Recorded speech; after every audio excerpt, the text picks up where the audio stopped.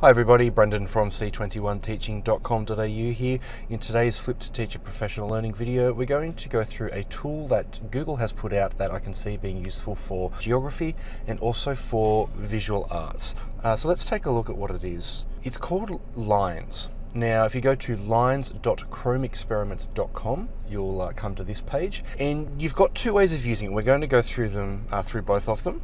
The first one is the drawing option. Now, the way that this works is the screen goes blank and you simply draw a line some, of some description on the screen using your mouse or your trackpad, just as you can see from that uh, little image there. So what I'm going to do is draw that kind of a curve. What it does is it then searches through images that um, are stored in Google Maps, through Google Earth, and it will match whatever the line is to some kind of shape from around the world. So you can see it's mapped it here to um, that's some kind of interchange road. If I was to do a different line like that, it will map it to there's another interchange.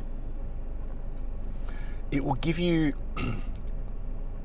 it will give you a variety of natural as well as built images. So you can see that looks like a mountain range of some sort. Uh, Salta province in Argentina. Bottom left hand corner, it will always tell you where. And if you click on the uh, on the location name, it will then take you to where that is in Google Maps as well. So you do have that um, that option there. So you can see this is exactly where we were looking at, and I can now zoom out to get you know, greater context for what that was. So that's the draw option. Let's go to the drag.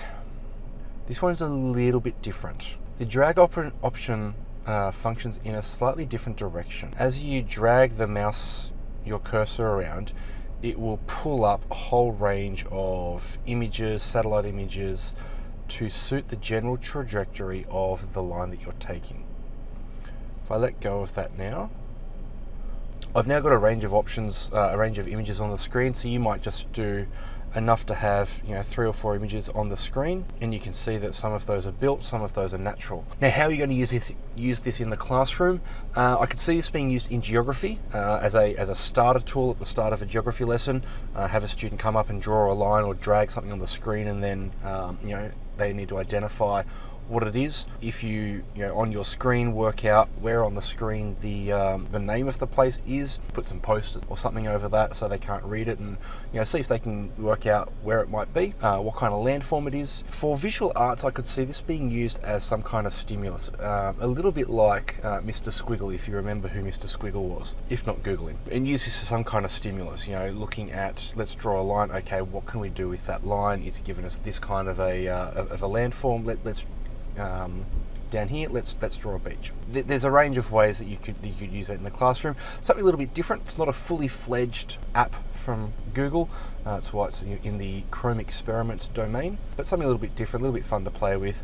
Hope that's been useful. Uh, thanks very much for watching, and don't forget for more helpful FTPL videos, head to c21teaching.com.au. Thanks very much.